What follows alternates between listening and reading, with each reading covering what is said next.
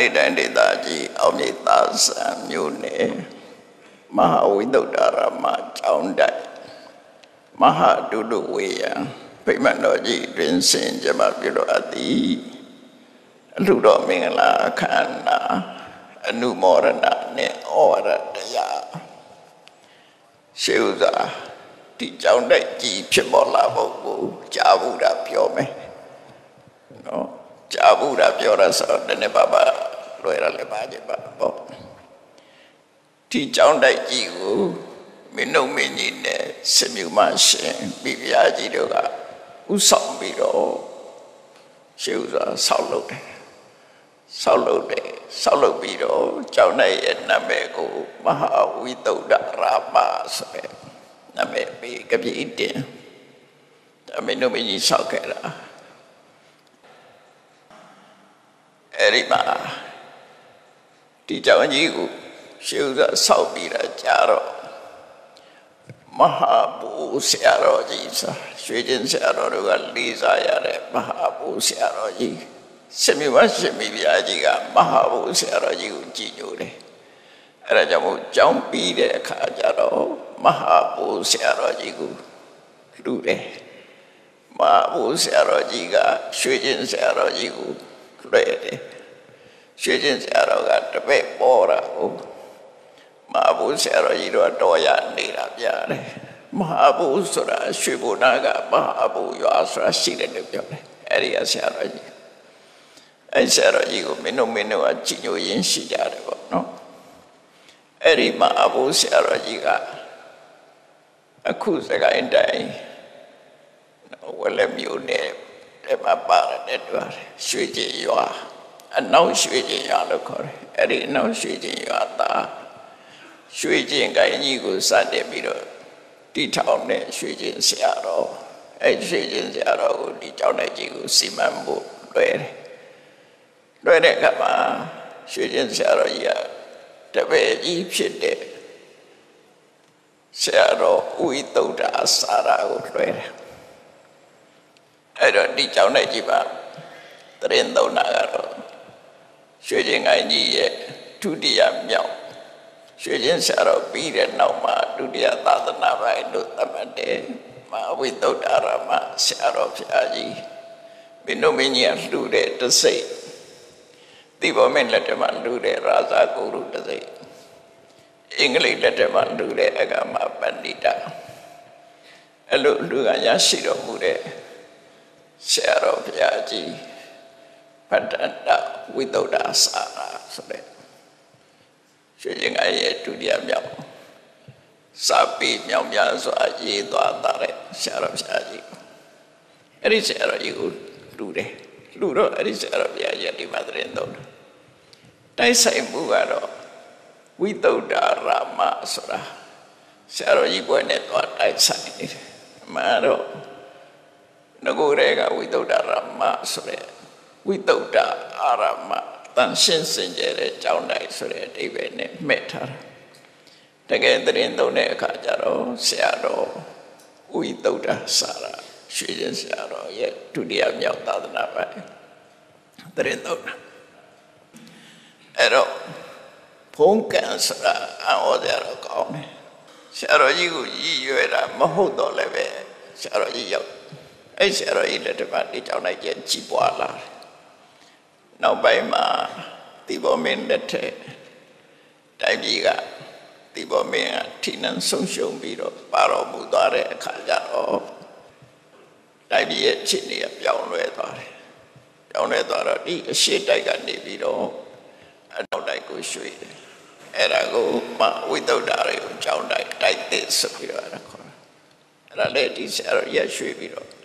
ဘာဖြစ်လို့ရွှေ့တော့ဆိုတော့အရှိတိုက်မှာဆွမ်းခံစရာလူသိပ်မရှိဘူး။မင်းတို့မင်းကြီးကနန်းနန်းရှိမှလူတွေမနေရဘူး။ရက်ွက်တွေမထားဘူး။အဲ့တော့ဆွမ်းခံဖို့ရခက်တယ်။မင်းတို့မင်းကြီးကဒီ60နှစ်လမြောက်ကနေပြီးတောင်ထီအောင်ကျောင်းလိုက်ကြီးပေါ့28တိုက်တီထောင်ပြီးတော့ထားတာအဲကျောင်းလိုက်ကြီးတွေကတမိုင်းကျောင်းအနေနဲ့အလွန်တမိုးရှိတဲ့ကျောင်းလိုက်ကြီးတွေခဏခေတ်တော့ရောရောနှောနှောတွေအကုန်ဖြစ်ကုန်ပြီပေါ့နော် မြောက်ကနေစပြီးတောင်တိုက်ထီကျောင်းတိုက်ကြီးပေါ့18တိုက်မြတ်စွာဘုရားလက်ထက်တုန်းကရာဇဂိုမြို့ပဝန်းကျင်မှာကျောင်းတိုက်ပေါင်း18တိုက်ရှိတယ်အဲ့ဒီကသင်္ကေတကိုယူပြီးတော့မင်းတို့မညာတော့ပုံရတယ်ပေါ့နော်ကျောင်းတိုက်ကြီးပေါင်း18တိုက်ပထဝီပြန်စာမိုးပွဲအချိန်ဆိုလို့ရှိရင်ရွှေထီးတွေတဝင်းဝင်းနဲ့ ရှင်လောင်းနေရန်လောင်းနေဟာဒီကြောင့်လည်းဒီကနေပြီးနတ်တော်ဘက်ကိုကြွားကြတယ်မတန်နဲ့မှာအဲ့ဒါလို့ဆိုတယ်ပေါ့နော်ရှေ့ခေတ်ကတော့အဲ့ဒါလို့အဲ့တော့ကျောင်းတိုင်ဖွဲ့စည်းတဲ့အခါမှာဖွဲ့စည်းဖို့ဘာကြောင့်ကျောင်းနဲ့ကျောင်းတိုင်ပါကွာလဲလို့ဆိုရင်ကျောင်းนี่အခုဒီတိုက်တယ်မှာဆိုလို့ရှိရင်ကျောင်းပေါင်း14ကျောင်း အခုနောက်အသစ်တစ်ကျောင်းထည့်လိုက်ကျောင်းပေါင်း15ကျောင်းပရိယတိဝိသရမေဇရိထဲကျောင်းပေါင်း15ကျောင်းအဲ့ဒီကျောင်းလေးကိုစုပြီးတော့မှကျောင်းတိုက်လို့ခေါ်တာ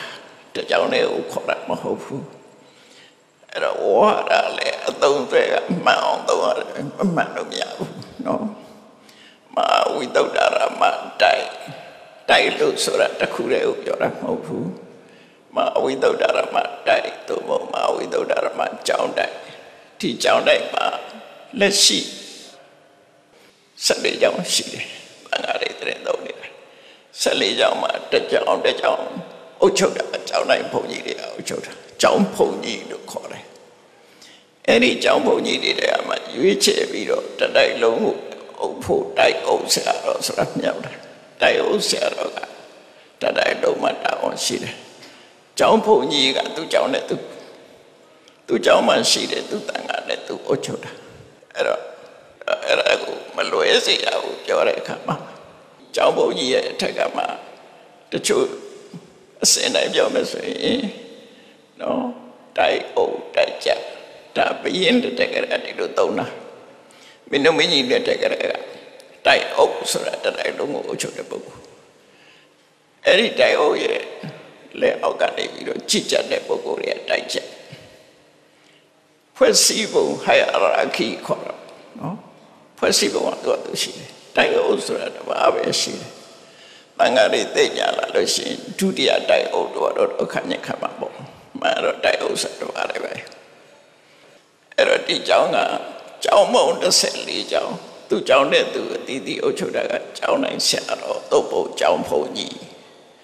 အဲ့ဒီပေါ်မှာကျောင်းဘုံကြီးတွေကစုပေါင်းပြီးတော့တင်မြောက်ထားတာတိုင်အုပ်ဆရာတော်တပါ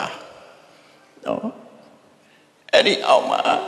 တချို့တိုက်တွေကြတော့တိုက်ကြဆရာတော်ဆိုတာရှိသေးတယ်နော်တိုက်အုပ်တိုက်ကြ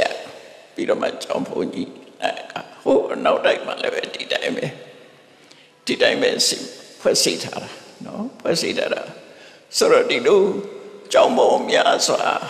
စုပေါင်းပြီးတော့နေထိုင်တာကိုကြောင်းတိုက်လို့ခေါ်တယ်တိုက်ကြောင်းတိုက်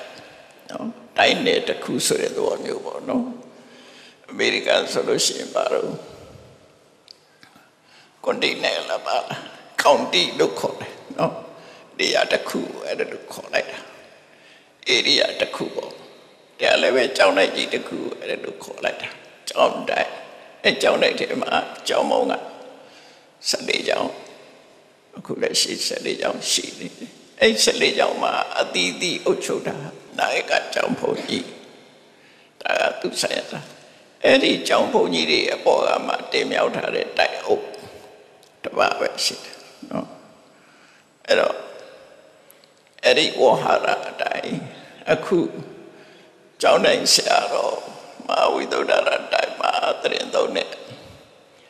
ကျောင်းဖုန်ကြီးကျောင်း15ကျောင်းအတိအတိတစ်ကျောင်းတစ်ကျောင်းနဲ့ပရိသတ်တစ်ခုစီကျောင်းနဲ့ကျောင်းဖုန်ကြီးတရားလှူဒန်းပါတယ်နောက်ကျောင်းဖုန်ကြီးမဟုတ်တဲ့ရဟန်းတွေကိုတော့ဒါခန်းနေလို့ခေါ်တဲ့ရှေ့တော့ကနော်ခန်းနေလို့ခေါ်တယ်ခန်းနေဆိုတာကျောင်းဖုန်ကြီးတဲ့အောက်ကနေနေတဲ့တန်ဃာတွေပေါ့စာသင်သားလည်းဖြစ်ချင်းဖြစ်မယ်စာချဖုန်ကြီးလည်းဖြစ်ချင်းဖြစ်မယ် အဲ့ဒီအခန်းဒီတန်ဃာတွေကိုတော့သင်္ကန်းနဲ့လူပဲပစ္စည်းဝတ္ထုနဲ့သုံးသိန်းစီလူတန်းနဲ့လို့ဆိုတယ်။နောက်ရှင်သာမဏေတွေကြတော့တသိန်းစီနဲ့ဆရာပစ္စည်းဝတ္ထုတွေလူတယ်။အဲ့တော့ဒီနေ့ကထိန်မှာခွဲခြားပြီးတော့အဓိကလှူတာအဲ့ဒါပဲ။တဒါတွေကတန်ခိကမဟုတ်ဘူးကျောင်းဆရာတော်တွေကသူတို့စီမံခန့်ခွဲခွင့်ရှိတယ်ပရိသတ်တကူဟာအဲကျောင်းဖုန်ကြီးတွေကိုလှူတာ ပရိသတ်ဆက်လေးကူကကျန်အနေကိုလှူတာက3သိန်းနဲ့ပစီနော်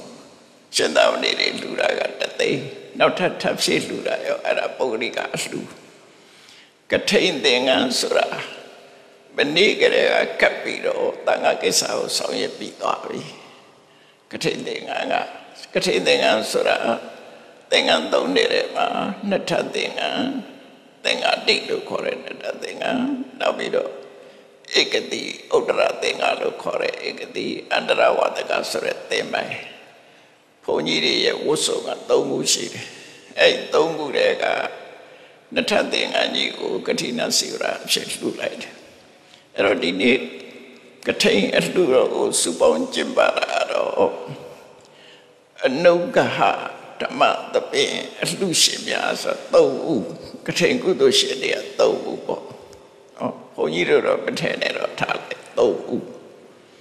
အနုကဟဓမ္မတပင်ကုသိုလ်ရှင်များအလှူရှင်များအနုကဟဆိုတာပညာပူမိတက္ကသိုလ်အခုတိထောက်တာတဲ့ပညာပူမိတက္ကသိုလ်ကိုအထောက်အကူစီမံထောက်ပံ့တဲ့အဖွဲ့ကိုအနုကအဖွဲ့လို့ခေါ်တယ်ပါဠိနဲ့အနုကဆိုတာအထောက်အကူပြုတဲ့အဖွဲ့စီမံတဲ့ ထောက်အကူပြုတယ်တက္ကသိုလ်ဆိုင်ရာလုပ်ငန်းတွေနဲ့ပတ်သက်လာလို့ရှိရင်စီမံပေးတဲ့အထောက်အကူပြုတယ်အဲ့ဒီဖွဲ့ကိုစီမံထောက်ကူအနုကအဖွဲ့လို့ခေါ်တယ်အဲ့ဒီအဖွဲ့ကကထိန်ထဲမှာလှူတယ်ဓမ္မသဘင်ဆိုတာတော့မန္တလေးမြို့မှာမန္တလေးတို့အမရပုဒ္ဒါတို့စကိုင်းတို့မှာရှိတယ်တရားပွဲနဲ့ပတ်သက်ပြီးတော့ဆောင်ရွက်ကြတဲ့ပုဂ္ဂိုလ်တွေဓမ္မသဘင်ဖွဲ့ သူတို့ကလည်းစုပေါင်းပြီးတော့ဒီကထိန်ထဲမှာအဝင်လှူဒန်းကြတယ်ကုသိုလ်ရှင်များဆိုတာအနုကအဖွဲ့မှလည်းမပါဘူးဓမ္မသဘင်နဲ့မှလည်းမပါဘူးအလွတ်လှူဒန်းတဲ့ပုဂ္ဂိုလ်တွေဒါကြောင့်မို့လို့ကထိန်ဆိုင်ဖို့တတ်တဲ့အခါမှာအနုကဟဓမ္မသဘင်အလှရှင်များလှူဒန်းသောမဟာကထိန်တော်အလိုတတ်နော် အလိုပါတယ်လို့ဆိုလို့အဲ့တော့စုပေါင်းပြီးတော့လှူဒန်းတဲ့မဟာကထိန်ကုသိုလ်ကောင်းမှုတွေကပေါင်းစုပြီးတော့လုပ်ကြတာဒါဖိတ်ခေါ်တာမဟုတ်ဘူးသူကသူပါဝင်လာကြတာဘယ်သူမှလှူပါလို့ဖိတ်ခေါ်လာတာမရှိဘူးသူစေတနာလျောက်ပါဝင်လာကြတာကထိန်လူပွဲမှာပါဝင်ကြတယ်အဲကြောင့်မလို့အသင်္ခါရိကပဲသသင်္ခါရိကကုသိုလ်မဟုတ်ဘူး နော်ဘယ်သူမှတိုက်တော်နာမဟုတ်ဘူးစေရနာအလျောက်ပါဝင်ကြတယ်လို့ဆိုလို့လည်းပေါ့အဲ့ဒါကကထိန်ပွဲအဲကထိန်ပွဲနဲ့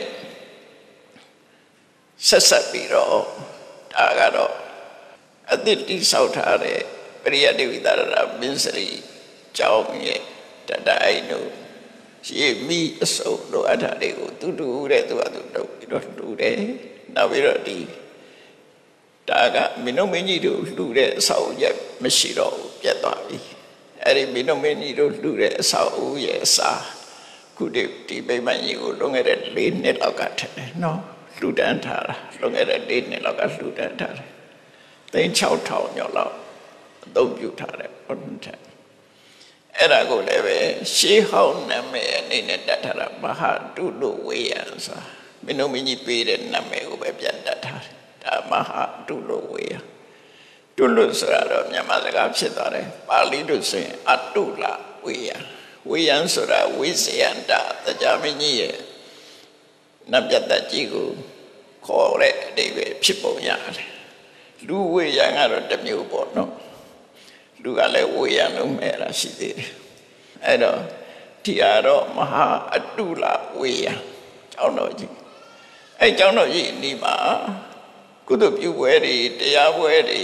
ပြုလုပ်တဲ့အခါမှာအချက်ပေးဖို့အတွက်မဟာအတုလတတ္တစီတော်ခေါင်းလောင်းတော်အဲ့ဒါတွေကိုလည်းပဲတတ်ဆင်ပြီးတော့ထားတယ်အဲ့တော့ဒီကျောင်းကြီးအတက်နောက်တက်နေဖြစ်ပြီးတော့ရှေ့က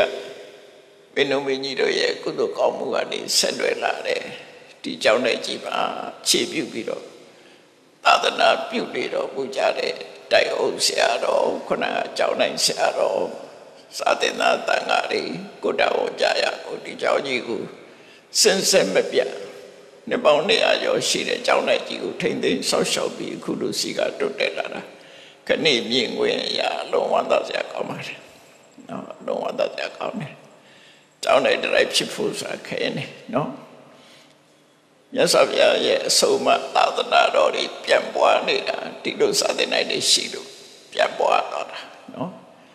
ရွှေကျင်ကိုင်းမှာသာသနာပိုင်ဖြစ်သွားတဲ့ပုံကိုယ်တွေအတိကသွားကြတာဒီကြောင့်နိုင်မှာနေသွားတာနော်မမိသမျှပြောမဆိုရင်ကျေးမြင့်ဆရာတော်ရဲ့ဒီမှာတရင်သုံးသွားတာတွာတသမထနဲ့နော်ဧကတသမလားအဲရွှေကျင်သာသနာပိုင် ဆရာတော်ဥဇောတရားကျေးမြင့်ကြောင်းဆိုတာဒီနာမှာရှိတယ်ရှေးဟောင်းဆောက်ဦးတွေရှိတော့မယ်ရမီးစင်ကြောင်းတို့ကျေးမြင့်ကြောင်းတို့ရှေးအောင်ဘရင်တက်ကဆောက်ဦးတွေရှိတယ်နိုင်ငံသားတွေကတော့အထုတတိလာပြီးတော့ကြည်ရတယ်ဗမာတွေကတော့အဟောင်းဆိုသိမကြည့်ကြအောင်အတိတ်တွေပဲလုံနေကြတာကွာအဲကြောင့်နေအရှေးအောင်ကြောင့်လည်းကြည်နေရှိသေးတယ်ဒီမှာဆောက်ဦးတွေမြန်မာပြည်ကို ဒီလိုကြည်တဲ့ပရာတုတ်တဲ့မှန်ရောက်တာကဖာကြီးတော့မင်းတက်ထလောက်မှရောက်တာဒီပြမှာရှိဖို့မရဘူးအဲ့ကြတော့မှပြင်ဦးလားမနှမ်းရဆိုရင်ဆိုတာအဲ့ဒီစာပေါ်လာမနှမ်းနဲ့မှာကော်မတီဖွဲ့ပြီးတော့ရဆိုရင်ပြုစုဖို့ကော်မတီဖွဲ့ပြီးတော့ရေးတာအဲ့ဒါကိုမနှမ်းရဆိုရင်လို့ခေါ်တယ်အဲ့ဒါကဖာကြီးတော့ဒီမန္တလေးမှာမဟုတ်ဘူးအမရပူရာမှာ မရပူရာလားအင်းဝါလားအဲ့ဒီမှာလောက်တာသူကတော့မနှမ်းရဆိုရင်အဲ့ဒါပမာပြည်မှန်စရောက်တဲ့အချိန်နော်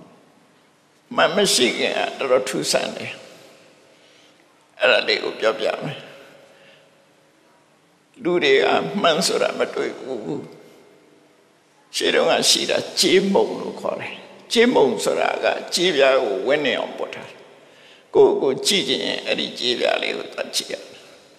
အဲ့ဒါမရှိကဘာလို့တုံးဆိုရင်ရှိခွက်ထဲကိုရေထည့်ပြီးကိုမျက်နှာရေကိုကြည့်တာသို့မဟုတ်ရေအိုင်နာသွားပြီးတော့ကိုမျက်နှာကိုကြည့်တာကြည့်စရာမရှိဘူးကျေမုံကျေမုံပြီးတဲ့အခါမှန်ပေါ်လာတယ်မှန်ပေါ်လာပုံလေးကိုပုံမြင်လေးတစ်ခုရှိတယ်တောရွာတရွာမှာတက္ကတယောက်ကလမ်းလျှောက်သွားရင်လမ်းမှာမှန်လေးတစ်ချက်ကောက်ရမသိဘူး အဲ့ဒီမှန်လေးကိုကြည့်လိုက်တဲ့အခါကျတော့သူ့ရုပ်ပုံပေါ်နေတာမှန်တယ်အဲ့တော့သူကဘလို့ထင်တော့ဟာငါအဖေပုံကြီးပါလားသူပုံသူမြင်နေတာဟိုငါအဖေပုံပဲသူကသူမမြင်ဘူးလေဩငါအဖေပါလားဆိုပြီးတော့အိမ်ယူသွားတယ်လွန်နိုင်သူ့ဖေတတိရတဲ့အဲ့ဒီမှန်လေးကိုတော့ကြည့်တိမ့်ထားတယ်ဘယ်သူမှမပြဘူးဝေးကြရ ကြရလေးထဲမှာကျွေးကြရလေးထဲမှာအဲ့ဒီမှန်ချက်ကလေးထည့်ထားပြီးတော့လွန်နိုင်လွန်နိုင်သူ့ဖေကိုတော့တော့ကြည့်အိမ်ကတက္ကမကမတင်ကဘူးဒီလူဒီထဲဝန်းဝင်ပြီးတော့တော့ကြည့်နေတယ်ဧကနိဋ္ဌတစ်ခုရှိတော့တယ်သူအပြင်းထွက်တဲ့ချိန်မှာလိုက်ရှာရှာတော့အဲ့ဒီကြွေကြရလေးထဲမှာထည့်ထားတယ်မှန်ချက်ကလေးသွားကြည့်တယ်ကြည့်လိုက်တော့ကြည့်တဲ့လူရဲ့မျက်နှာပေါ်တာပေါ့ပေါ်တော့ ကြည်စမ်းကြည်စမ်းဒါသူမရင်ငယ်ရဲ့ပုံဒီမှာလားအဲ့လိုဖြစ်တယ်ပြန်လာရင်တော့ရံဖြစ်မယ်ဆိုပြီးတော့အဲ့ဒီမှာပြန်လာတော့စကားပြကြဟိုကလည်းမဟုတ်ဘူးဒါငါအဖေဘယ်ကငါအဖေရမှလဲဆိုပြီးတော့ရံဖြစ်ကြတယ်အဲ့လိုရံဖြစ်ဆူးနေတဲ့အချိန်မှာရှေးခေတ်ကဗမာပြည်ကပုံပြင်မဟုတ်ဘူးအနောက်တိုင်းကပုံပြင်ဆိုတော့ခရစ်ယာန်ဘုန်းကြီးကအိမ်နာရောက်လာ စူကြမ်းစူညာနဲ့ဟဲ့သားတို့သမီးတို့ဘာဖြစ်နေကြတာတော့ဘာလို့ဆူနေတာတော့ဆိုတော့မြို့သမီးကပြောတယ်ဒီလူကမကောင်းဘူးပေါ့ဒီတပ်ပုံသူ့ရဲ့အငယ်အငယ်နှောင်းထားတယ်ပေါ့အဲ့တပ်ပုံတွေ့လို့ဆူနေတယ်ဆိုဒါဖြင့်ယူရတဲ့ယူရတဲ့ပြတ်သမအောင်လို့ဆိုတော့အဲ့ဒီခရစ်ယာန်ဘုန်းကြီးကအဲ့ဒီမှန်လေးကိုကြည့်လိုက်တဲ့အခါဟာငါတို့ဆရာတော်ကြီးပဲ သူပုံပေါ်နေတာငါတို့ဆရာတော်ကြီးပုံဆိုပြီးတော့ဒူးတွေပါညွှန်ကြပြပြီးတော့ခါတော်ပြုတ်လိုက်တယ်ရှမ်းမဖြစ်ကြနဲ့ဒါငါတို့ဆရာတော်ကြီးပုံဆိုယူသွားလေ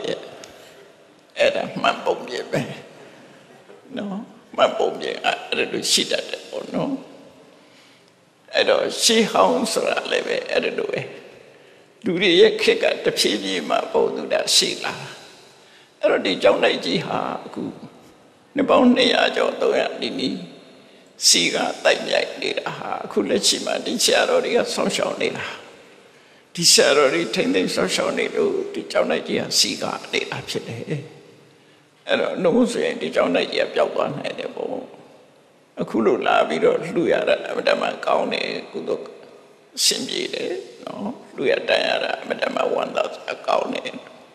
အဲ့တော့ကြောင်းသိသိမှာ မိမိတို့ရဲ့တပည့်တွေကိုလက်ဆင့်ကမ်းပြီးတော့စာပေပို့ချနေကြတယ်သင်ကြားပေးနေကြတယ်အဲ့လိုနဲ့နောက်ဆက်တွဲနောက်ဆက်တွဲဖြစ်သွားဒီကြောင်းကထွက်သွားတဲ့သာသနာပိုင်နေဆိုတာပထမဆုံးကတော့ဝိသုဒ္ဓရမဆရာတော်ဘုရားကြီးပေါ့ဒုတိယကတော့စံငင်းဆရာတော်စံငင်းဆရာတော်ဘုရားကြီးကလည်းတရားသွားတာအခုရမည်သိကြောင်းကနေသွားတာအဲ့ဒါ နဝေမသာသနာပိုင်ကလည်းပဲတရားသွားတာနော်သာသနာပိုင်ဖြစ်သွားတာရွှေတင်သာသနာပိုင်ဆက်ဆက်မှာနောက်ကြည်မြင့်ဆရာတော်နောက်ပိုင်းမှာလည်းပဲဒီမနေသွားတဲ့ညောင်ရွှေဆရာတော်ညောင်ရွှေကန္တိပရိယတိဆရာတော်ဆိုတာလည်းသာသနာပိုင်ဖြစ်သွားတယ်အဲ့ဒါလည်းဒီကသွားတာပဲရှိပြီးတဲ့ကြောင့်အဲ့ဒီသွားတာအဲ့ဒီလိုဆရာတော်ဆက်ဆက်ဒီ အနောက်တိုက်မှာနေတဲ့ဆရာတော်တွေနဲ့ဒီကဆရာတော်တွေကနှစ်တိုက်တစ်တိုက်ပေါင်းနေတာဝိသုဒ္ဓံဆရာတော်ကြီးပြန်လွန်တော်မူတဲ့အခါကျတော့ဝိသုဒ္ဓံဆရာတော်ကြီးအခုပိမှန်ကဒီမှာရှိတာဒီမှာလာပြီးတော့တကြုံတာနော်ရွှေကျင်သာသနာပိုင်နေအခုပိမှန်နေဒီဘက်မှာရှိတယ်အဲ့ဒီလိုထူးခြားတဲ့ ရွှေကျင်ကကြီးကိုထိမ့်သိမ်းဆောက်ရှောက်တဲ့ဆရာတော်ကြီးတွေအများစုဟာဒီတိုက်ကနေပြီးတော့တွားကြတာဖြစ်တယ်အဲ့ဒါကြောင့်မလို့ဖဲဖဲကချီချီထိုးတွေဟာတမန်ကုသိုလ်ရာယုံနေမကဘူးတမိုင်းတမှုပါပူတွဲပြီးတော့လှူဒန်းရတာဖြစ်တယ်ပေါ့ဒါကြောင့်ဝန်သားကြကောင်းတယ်လို့ပြောတာကဲအဲ့တော့လှူတဲ့နဲ့ဟာကအဓိကကထိန်သင်္ကန်းကထိန်သင်္ကန်းကိုလှူတာ ကထိန်သင်္ကန်းလှူပြီးတော့အဲ့ဒီကထိန်သင်္ကန်းကိုရရှိတဲ့ဆရာတော်အတွက်ကတတ်တတ်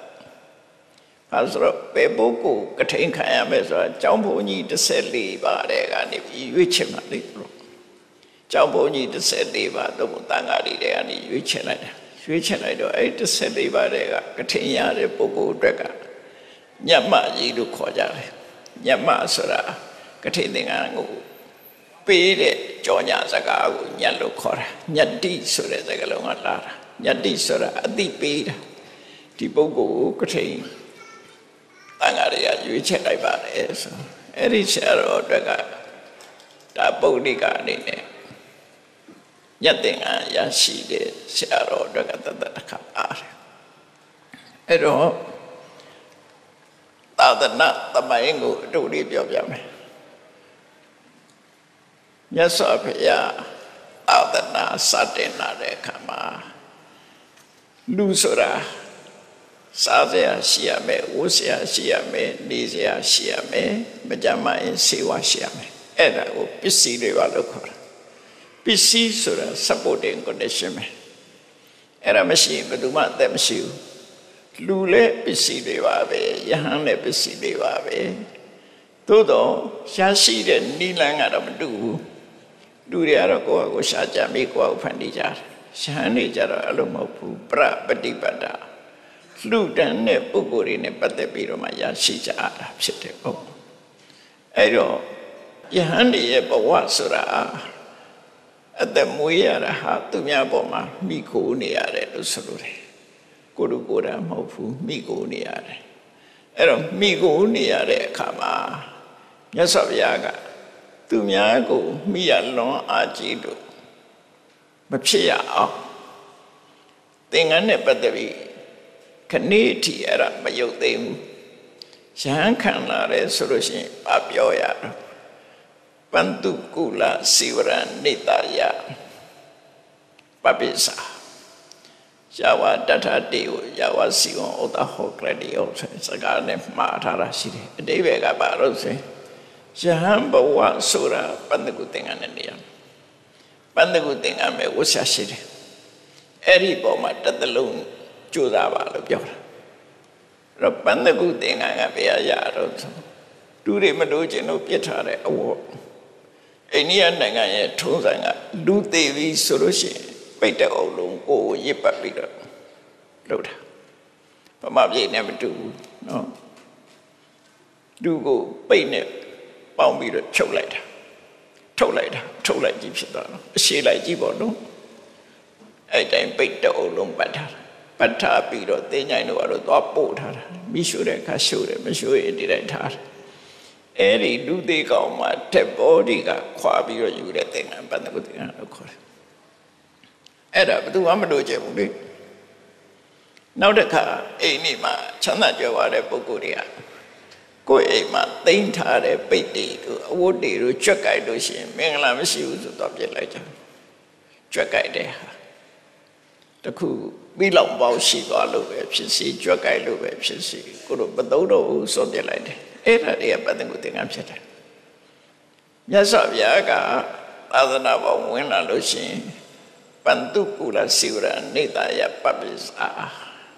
ရှမ်းဘောဆိုတာပတ္တကုသင်္ကန်းကိုမြည်ပြောမှာဖြစ်တယ် တထတေယဝဇုံဥဒ္ဒဟောကရဏီယောတတလုံးပတ္တကုသင်္ကန်းကိုဖို့ကြိုးစားပါအဲ့လိုမှားလိုက်တာခဏထီအဲ့ဒီစကားမှားတော့မယ်ရှိတယ်နော်မယုတ်သိသေးဘူးအဲ့တော့ပထမဆုံးဖြစ်လာတာကပန္နကုသင်္ကန်းဘုန်းကြီးတွေဝယ်ရမယ်ပန္နကုသင်္ကန်းပဲနောက်ပိုင်းမှာတော့ဆရာဇီဝကကြီးကစန္ဒပိသောတာမင်းစီကနေပြီးတော့ တိဝိတိုင်ပြည့်ဝတ်စုံနိုင်ငံညာပြည့်ပေါ့လေအဲ့လက်ဆောင်ရတယ်လက်ဆောင်ရလာတဲ့အခါကျတော့ဒီဝတ်စုံကတော့မြတ်စွာဘုရားတို့ဘုဗေမိတာရမင်းကြီးဒီနှစ်ဦးရဲ့တူသူလူမဲ့ပေးမဲ့ပေါ့သူမောဖူးပေါ့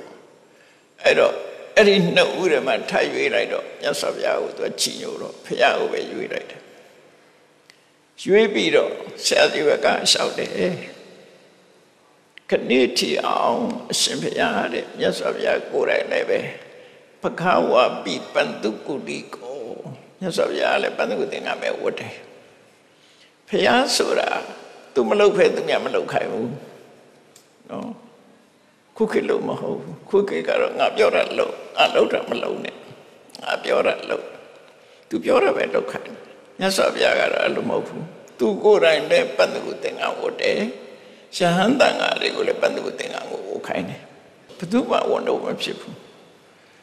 တချို့အတာတောင်စဉ်းစားသေးတယ်ဗမာပြည်မှာတန်ဃာတွေငါသိလောက်ရှိတယ်ဆိုဒါတွေကဝန်တော့ဝန်ပိုးတွေလို့အောင်ပြီဖဲဝန်တော့ဝန်ပိုးမှာတော့သူတို့မလို့ခြင်းလို့ပြစ်ထားတာကောက်ဝနေရတာအမိုက်တောင်ရှင်းသေးတယ်ဘယ်လိုလုပ်ဝန်တော့ဝန်ပိုးဖြစ်မှာလဲအခုကိစ္စပလတ်စတစ်တွေသိနေရတာဘလောက်ဝန်တော့ဝန်ပိုးဖြစ်တော့ကပါမှာတော့နော် ညစပြအဲ့လိုဘသူပေါ်မှာဝန်တော့မဖြစ်အောင်ထားတာအဲ့ဒီမှာဆရာကြီးကကရှောက်တယ်မြတ်စွာဘုရားဟာလည်းပန္နကုသင်္ကန်းပဲဝတ်တယ်ယဟန်တန်ဃာတွေကလည်းပန္နကုသင်္ကန်းကိုပဲဝတ်တယ်အဲ့တော့သူ့ကိုငဲညှပြီးတော့သင်္ကန်းလှူခွင့်ပေးပါအဲ့ဒီလိုလျှောက်တဲ့အခါမြတ်စွာဘုရားမိတ်ကြပုံတွေဘလောက်ကောင်းလဲဆိုတာစဉ်းစားတာဒါတိပြည့်နေရာမှာလည်းပဲနီးယူရတယ်ဒါတွေကမြတ်စွာဘုရားက ခွင့်ပြုလိုက်တဲ့အခါမှာတန်ဃာပရိသတ်ကိုပြောလိုက်တော့ဆိုရင်နော်ယောအိစတိပန္တုကုဏိကောဟောတုယောအိစတိခာပတိစီဝရံတာတိယတုဣတရေနပါဟံနော်တန်တုထေဝရမိဖះဟောလိုက်တဲ့စကားကကြည့်လိုက်တို့ခုချိန်တည်းအောင်ပန္နကုသင်္ကမဲ့သုံးညသေးတယ်ဒါပေမဲ့တို့ ယဟန်နေကိုပြောတာပန္နကုဝုချနေဆိုရင်ဆက်ဝမယုတ်သိဘူးနော်တခါတော့မှလူတဲ့သင်္ကန်းကိုလက်ခံနေတယ်ဆိုတဲ့လက်ခံဒါပေမဲ့ပန္တကုသင်္ကန်းပဲဖြစ်ဖြစ်တခါတော့မှလူတဲ့ခါပတိစီဝရာပဲဖြစ်ဖြစ်ရတာနဲ့ကျင့်နိုင်ရမယ်အပလောကောနော်လူတွေကရတာနဲ့မကျင့်နိုင်ဘူးလေအဲ့တော့ရတာနဲ့ကျင့်နိုင်ဖို့ကအဓိက တတရားဓမ္မဆိုတာအဲ့ဒါပဲတန်တုဋ္ဌိကျင့်မှုရှိရမယ်အဲ့တော့မြတ်စွာဘုရားမိန့်တာအဲ့ဒါကြည်နော်အဲ့တော့ပြောချင်တာကသာသနာတော်မှာပထမဆုံးကပန္နကုသင်္ကန်းဒုတိယကခါပတိစီဝရတက္ကရာမရိလှူတဲ့သင်္ကန်းဆိုဖြစ်လာတာအဲ့ဒီကပတိစီဝရကမှတခါအကြောင်းတစ်ခုကြောင့်ကတိနာစီဝရဆိုတာကထိန်သင်္ကန်းဖြစ်လာတယ် ပထမမူလကသင်္ကန်းတစ်ခုတည်းပဲနောက်ထပ်တစ်ခုထပ်တိုးတာနှစ်ခုပဲရှိတယ်သင်္ကန်းကနော်နှစ်မျိုးပဲရှိတယ်ဒါရတဲ့ဟာကိုကြည်တာဝေးကိုကြည်တာ how to receive how to အပိယဘယ်လိုဖြစ်လာသလဲ how to get ဟောဒီအဝိုးကိုဘယ်လိုရသလဲဆိုပထမကဘန္တကူအနေနဲ့ရတယ်ဒုတိယကလှူတဲ့လူရှိလို့ရတယ်ဟောဒီ ရှားလာပုံကနှမျိုးဖြစ်သွားတယ်အဲ့ဒီထဲမှာနောက်ထပ်ထပ်ပြီးတော့မြတ်စွာဘုရားကလှူတဲ့လူဆိုတဲ့အချိန်မှာယဟန်တန်ဃာတွေသင်္ကန်းရှားပါရမဖြစ်အောင်ဘာကြောင့်ရှားပါတော့ဆိုလို့ရှိရင်ရှေးခေတ်ရှေးစနစ်ကကျောင်းမှာစက်တတောင်နေတာသိမရှိနေတဲ့ပုဂ္ဂိုလ်နေတယ်နေအောင်တော့ဒီကျောင်းသူပိုင်လို့မရအောင်အလုံးအတိုင်းကကြောင်းတယ်အဲ့တော့ယဟန်တန်ဃာတွေကလှက်ပတ်ပြီးခီးသွားနေကြတာများတယ် ခရီးသွားဆုံးကတော့ဗုဒ္ဓဘာသာယဟန်တော်တွေပဲလှက်ပတ်သွားနေတာမြတ်စွာဘုရားမပြည့်ညက်ခံဆိုမိုးတွင်လည်းသွားတာပဲဆောင်းလည်းသွားတာနှွေလည်းသွားတယ်နောက်ပိုင်းကျတော့မြတ်စွာဘုရားမိုးရသည်မသွားကြနဲ့ဆိုပြီးဝါဆိုတယ်ဆိုဖြစ်လာတာဘာလို့လို့ဆိုယဟန်တန်ဃာတွေဆိုတာစတုတ္တိတော့အပတိကောသူမှမိသားစုရှိတယ်မှမဟုတ်တာသူသွားခြင်းနဲ့စီသွားမှာပေါ့လွတ်လပ်တယ်လေတကယ်လွတ်လပ်တာ သေရိတယံဝတိသူတို့ကြိုက်တယ်လို့နေလို့ရသွားတယ်မိသားစုကိုမရှိဘူးလေမရှိတော့သူတို့စိတ်ပြတ်သွားကြတယ်အဲ့ဒါကြောင့်စတုတ္တိတော့အရလေးမျက်နှာသွားခြင်းသွားအဲ့ဒါလို့သွားနေတာကိုမိုးရသည်ကိုမသွားကြနဲ့လို့ကန့်တက်လိုက်တာဝါဆိုတာဖြစ်သွားတယ်နောက်တကအဲ့ဒီလိုလက်ပတ်သွားတော့ဗာပြဿနာရှိတော့ဆိုရင်ကြောင်းတိုင်းကြောင်းတိုင်းမှာထုံတန်းစင်လာရှိတယ် ဝါကြီးတဲ့ပုဂ္ဂိုလ်နေရပေးရတယ်ဒီကြောင်းတိုင်းမှာဘသူပဲနေနေဝါကြီးတဲ့ပုဂ္ဂိုလ်လာရင်နေရဖယ်ပေးအဲ့စင်လာရှိတယ်ဝါကြီးတဲ့ပုဂ္ဂိုလ်နေရဖယ်ပေးရတယ်အဲ့လိုနေတဲ့အခါကျတော့ဒီကြောင်းကိုအများအားဆောင်းရှောက်နေတဲ့ပုဂ္ဂိုလ်တွေကနေရဖယ်ပေးုံနဲ့မကဘူးတန်ခိကသင်္ကန်းမဆိုလာလှူလို့ရှိရင်ရောက်လာတဲ့ကိုတော်တွေကသူတို့နဲ့အကုန်ခွဲရမယ်ကိုတယောက်တည်းသုံးလို့မရဘူး ဆိုတော့ပိတ်ကလေးတအုပ်ရလာတယ်တကိုက်နှစ်ကိုက်လောက်တွေရလာကြွလာတဲ့တန်ခါ900လောက်ဖြစ်တယ်ဘယ်လောက်ရမှာဟုတ်တယ်မလားလောက်ရမှာတော့လက်တော်လောက်ရတာမျိုးရှိအဲ့ဒါလေးတွေကိုစိတ်စိတ်ဖြတ်ပြီးတော့လက်တော်ရရင်လက်တော်ပဲဒါကြောင့်မလို့သင်္ကန်းစီမံထားတဲ့အခါမှာကြည့်လက်တော်စားလေးပဲထည့်လို့ရတယ်ဒီထဲမှာအဲ့ပုံစံနဲ့တုတ်ထားတာမြတ်စွာဘုရားအဲ့ဒီတော့ ဒီတနေ့ရမှာအမြဲတမ်းနေတဲ့ပုဂ္ဂိုလ်တွေအတွက်သင်္ကန်းရဖို့ခက်ခဲလာတယ်ခက်ခဲလို့ကထိန်သင်္ကန်းကိုလက်ခံလိုက်ကထိန်သင်္ကန်းလက်ခံတာလို့ရှိရင်အဲ့ဒီဥပဒေကိုပယ်ဖြတ်ပေးလိုက်တယ်ကထိန်ခံတာတဲ့ပုဂ္ဂိုလ်တွေငါလထိအောင်ကိုစီအတိုင်းကသင်္ကန်းဖြစ်လာလို့ရှိရင်ပေးကြမှာပေးမပေးခြင်းလည်းရတယ်ဟောအဲ့ကြတော့ဒီနေတဲ့ကိုရော်တွေအတွက်ခုနလိုလက်တော်လောက်လှိကြမလို့တော့ နောက်လာတဲ့ကိုရော်ပေးကြမှာပေးသူတို့ပဲပဲစကွင်းရတာအဲ့ဒါကထိန်ရအာတိတင်နဲ့မှပါတယ်ပေါ့နော်ထားတော့ခဏိခေကတော့ပေါ်တယ်အဲ့လောက်ကြည့်မရှာတော့ဘူးဒါရှေးခေတ်စေးစနစ်နဲ့ဥပဒေဆိုတာလိုအပ်ချက်တိုင်လို့တာဥပဒေဆိုတာအမှန်တရားမဟုတ်ဘူးအမှန်တရားမဟုတ်လို့ပြင်လို့ရတယ်ဒါမို့ဥပဒေဆိုတာပြင်ဆင်ချက်ပြင်ဆင်ချက်နဲ့လာနေတာမဟုတ်လားလိုအပ်ချက်သာဥပဒေဆိုတာလိုအပ်ချက် တိုင်ပဲလိုရတာဖြစ်တယ်ပေါ့ပြင်ဆင်ချက်နဲ့သွားတယ်မြတ်စွာဘုရားရဲ့ပြညတ်တဲ့ဥပဒေတောင်းမှာပဲမြတ်စွာဘုရားပြိဋိဘံသံဃာနိမှာရှင်အနန္ဒကိုမှာခဲ့တယ်။တန်ဃာတွေသဘောတူလို့ရှိရင်ခုတ်တနုခုတ်တကဆိုတဲ့အသုံးပေါ့လေ။ခုတ်တဆိုတာအသေးဖွဲအနုခုတ်တကဆိုတာခုတ်တဆိုတာအသေးအနုခုတ်တကဆိုတာအဖွဲပေါ့လေ။ပိုသေးတယ်ဟာပေါ့။အဲ့ဒီသိက္ခာပုတ်ကလေးတွေ မိချမိုင်းနာပေါ့။မိချတွေတော့မပြင်းနဲ့မိုင်းနာလေးတွေကိုတန်ဃာတွေသဘောတူရင်ပြင်လို့ရတယ်လို့မှားသွားတာဟောသို့တော့ရှင်မကတ္တဗတို့ဖွဲ့ရခုချိန်မှာပြင်ဆင်ဖို့မလိုသေးလို့အပညတနာပညပိတ္တပနော်ပညတနာသမုစေတိတပဖယားမပညာခဲ့တဲ့အကိုအသိမထဲနဲ့ပညာပိသာဥရိမပြင်းနဲ့ ယထပညာတိသူသိက္ခာဝရိသူသိခိတပံရှိတဲ့တိုင်ထားလိုက်နိုင်ရမယ်ဆိုပြီးတော့တတ်မှတ်ခဲ့တာအဲ့ဒါကိုထေရဝါဒလို့ခေါ်တယ်သူတို့ကဖရာတိုင်းအရှိတိုင်းထားဒါကြောင့်မို့လို့နိုင်ငံသားတွေကထေရဝါဒဗုဒ္ဓသာသနာကို authentic လို့ခေါ်တယ်မပြင်းစင်တဲ့ဥပဒေမပြင်းစင်တဲ့သာသနာဖရာတက်တဲ့တုန်းကတည်းလိုက်နာကျင့်သုံးတယ်လို့ပြောတယ်အဲ့ဒါကိုပြောတယ်နော် ထေရဝါဒဆိုရှင်မကတ္တဗတို့ရဲ့ဆုံးဖြတ်ချက်၃ခုဘလောက်ခင်ပြီးတော့သူကအပညတနပညဝိတ္တပါအသိမထဲနဲ့ပညတနာသမုစေဝိတ္တပါမနှုတ်ပဲနဲ့ယထပညာတေသူတေကဝရိသူရှိတဲ့အတိုင်းလိုက်နာအဲ့လိုခိုင်းအဲ့ဒီမူသုံးချက်အရာခဏထိလိုက်နာတာအဲ့ဒါထေရဝါဒဘုရားသာသနာလို့ခေါ်တယ် အဲ့တော့ကတိနာစီဝရဆိုတာဘာကိုခေါ်ရတော့လို့ဆိုလို့ရှိရင်ကတိနာဆိုတဲ့စကားလုံးကသင်္ကန်းချုပ်တဲ့အခါမှာအခုလိုဆက်နဲ့ချုပ်တာမဟုတ်ဘူးသင်္ကန်းပုံစံတိုင်းထားထားတဲ့ကာပေါင်ကြကြည့်လေးရှိတယ်အသားနဲ့လှုပ်ထားတဲ့ကာပေါင်ကြအဲ့ဒီကာပေါင်ကြမှာငုတ်ကလေးတွေပါတယ်အဲ့ဒီငုတ်ကလေးတွေနဲ့ကျိုးနဲ့ချီပြီးတော့လက်နဲ့ချုပ်ရတာလက်နဲ့ချုပ်ရတာအဲ့တော့ သင်္ကန်းချုပ်တဲ့စနစ်ကိုစတင်ပြီးတော့ဖန်တီးပေးတာရှင်အာနန္ဒာ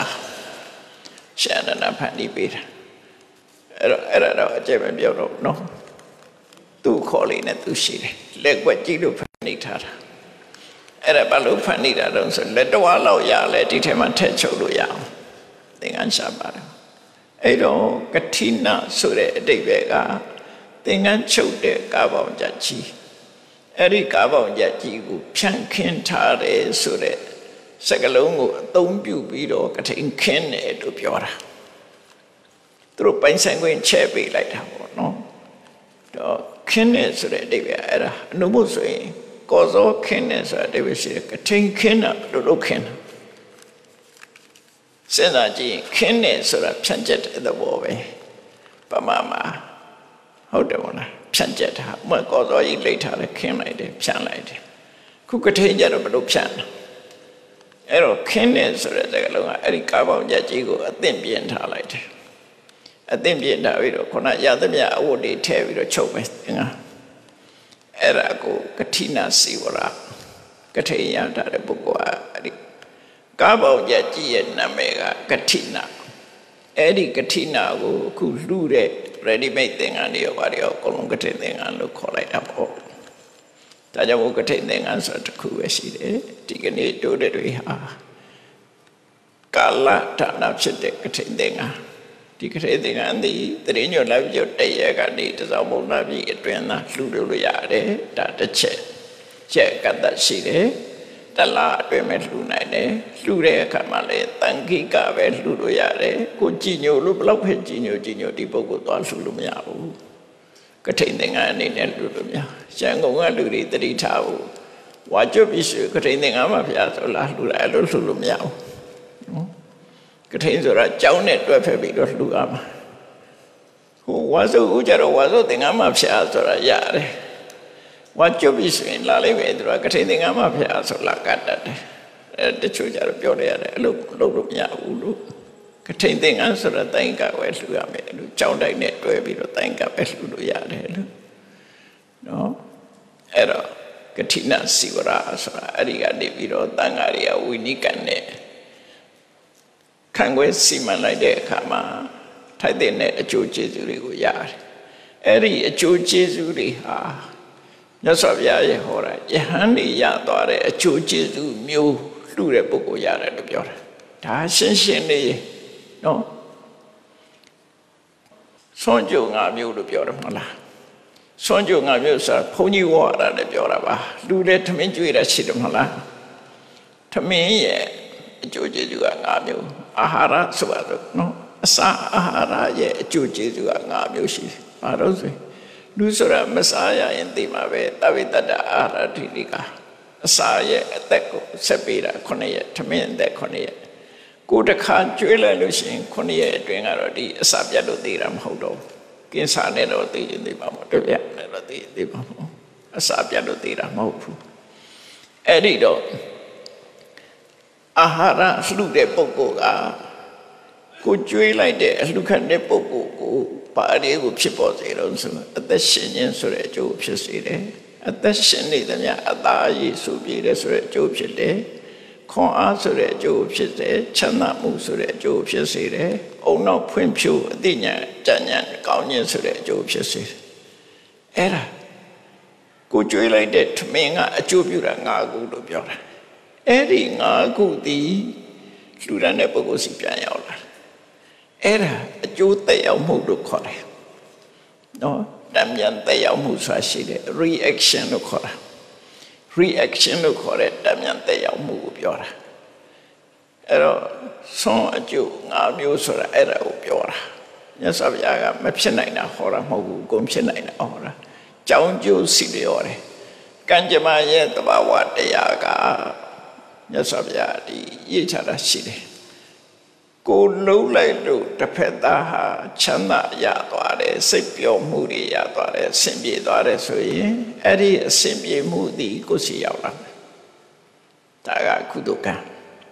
ကိုလုံးလိုက်လို့တစ်ဖက်သားဟာဒုက္ခအကြီးကျယ်ရောက်သွားပြီးတော့စိတ်ကြရတယ်ဆိုရင်အဲ့ဒီဒုက္ခသည်တနေ့ကိုစီရောက်လာကိုပြန်ခံစားရမယ်လို့ပြောတာအဲ့ဒါ reaction ရဲ့သဘောတရားပဲ ဘသူကမှဖန်ဆင်းတာမဟုတ်ဘူးဖရာသခင်ကလည်းမဖန်ဆင်းဘူးအကြောင်းနဲ့အကျိုးပဲဖြစ်တယ်နော်မြတ်စွာဘုရားဟောတာအဲ့ဒီအကြောင်းနဲ့အကျိုးဟောတာဒါကြောင့်မို့လို့ကထိန်လှူတဲ့ကထိန်ကတကမာတွေဟာဒီကနေ့တန်ဃာတွေချမ်းသာသွားသလိုအဲ့ဒီအကျိုးကိုစီပြန်ရောက်လာမှာပဲသို့တော့အဲ့ဒီအကျိုးလောက်တော့မမျှော်နဲ့နော်စိတ်ထဲမှာထားရမှာကချမ်းသာဆိုတဲ့ လူချမ်းသာနဲ့ချမ်းသာဆိုတာဆင်းရဲဒုက္ခတွေနဲ့ရောနေတယ်။ဒါကြောင့်ဆင်းရဲဒုက္ခတွေလုံးဝမပါတဲ့ချမ်းသာဟာနိဗ္ဗာန်ချမ်းသာတစ်ခုပဲရှိတယ်။အဲ့ဒီထိပဲမျှော်မှန်းရမှာဖြစ်တယ်ပေါ့နော်။ဒါကြောင့်ကထိန်အနုမောရဏနဲ့ပတ်သက်ပြီးတော့ကုသိုလ်ကောင်းမှုလုပ်တာတွေအလုံးဟာရှိရချက်ကနေနိဗ္ဗာန်ကိုမျှော်လင့်ပြီးတော့လှူဒါန်းကြတာဖြစ်တယ်။ဒါကြောင့်နိဗ္ဗာန်ကိုဆုတောင်းပြီးတော့ အာသနာပြုအလှတစ်ခုတို့တဲ့တွေဒီကနေ့လှူဒန်းရပြီလို့စိတ်ထဲမှာဝန်တာချီနုပြီးကုသိုလ်ရအောင်ကြိုးစားအထောက်နိုင်ကြပါစေကုန်သတည်း